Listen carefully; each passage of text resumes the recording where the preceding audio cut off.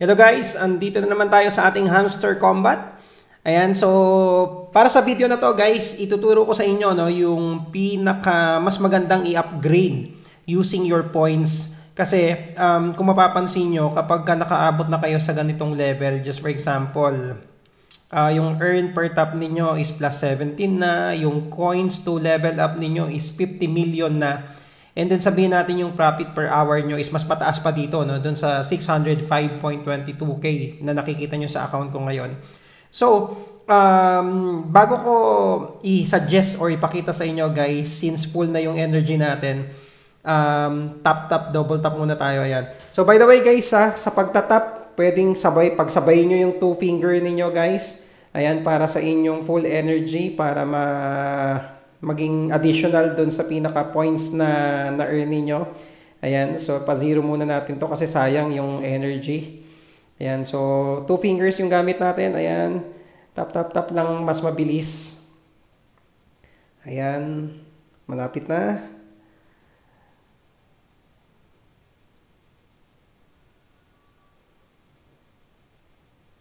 Two fingers. Ayan. Tat, tat, tat, tat.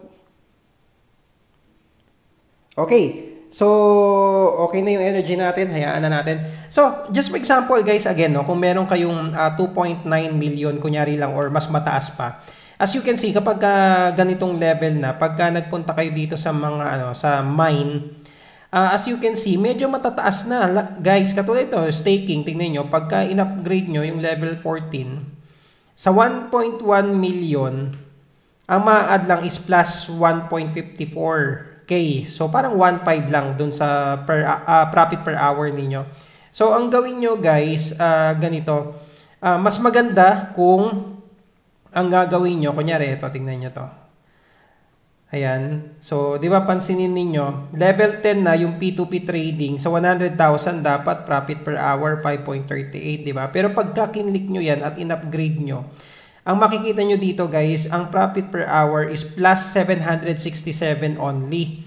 So kung i-times 10 mo yung kailangan na points pang upgrade, kung kunyari 100,000, uh, 120 times 10, so parang kailangan mo na rin ng 1 million something, di ba? Pero pag times 10 mo naman yung plus 767, more or less parang 7,000 plus lang din yan. 'Di ba? Doon sa 1 million points. So medyo kung iisipin mo, super taas ng 1 million something na points para sa 7,000 lang, 'di ba? Na parang additional per hour dun sa uh, I mean profit, additional profit per hour. So ang gawin niyo guys, mas maganda kapag ka kunyari ganito. Punta kayo ng specials. Ayan. Katulad nito, yung pre-market launch. Ang kailangan mo dito guys is 1.5 ah, million. Okay, level 3. Click natin. Ayan. So, pansinin nyo guys dito.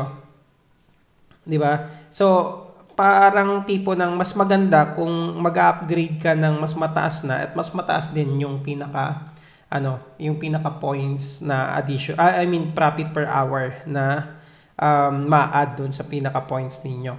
So, ang gawin nyo, much better kung doon tayo sa mas mataas na points. Pero kapag ka nakakita kayo guys ng kunyari ganito, um, kunyari mine, hanap kayo ng something na medyo mas mababa. Kunyari ito, um, ito 2,000 lang, di ba? So, ang mangyayari 807. So, medyo hindi sulit. Dito naman, yan, 1 million, 1.54k lang ang ma-add dun sa mismong pag-level up, di ba? So, dito 47. So, um, pag nakakita naman kayo ng something na, ano, na medyo mababa lang yung points na kinakailangan, tapos mataas yung profit per hour, yan, yun, i-upgrade niyo Pero since kasi pagka le, matataas na talaga yung level, no, talagang medyo mataas yung points na kailangan, pero yung profit per hour na additional is medyo mababa lang. Kaya ang suggestion ko guys, punta kayo dito, yan, sa specials, Ayan. Tapos, click nyo, kunyari, itong pre-market launch. Ayan, sulit na yan, ha. Um, 1.5 million. Tapos, ang magiging add mo is um, 9,000 plus na points dun sa profit per hour. So, right now, yung profit per hour natin, guys, is 605. Okay, so kapag ka in-upgrade natin to, since 9 plus something yung profit, so 605 plus 9 dapat magiging uh, more or less ano uh, 614 tama or more more pa pala ayan 6 uh, magiging 614 dapat yung profit per hour natin so try natin tong i-upgrade ayan so dapat 614 na ayan okay so 614 plus okay ayan so hanap kayo guys ng ano ng mas magandang i-upgrade ito pwede na nga rin to eh pero iba pa rin yung ganda ng upgrade nito yung 1.9 million na ano. So dito, ayan, pwede na rin to guys. Ayan, para hindi na kayo tipo ng upgrade ng upgrade ng kung ano-ano. Ito, wala pa. Insufficient imbalance natin. Pero mataas na rin yung profit per hour. Oh.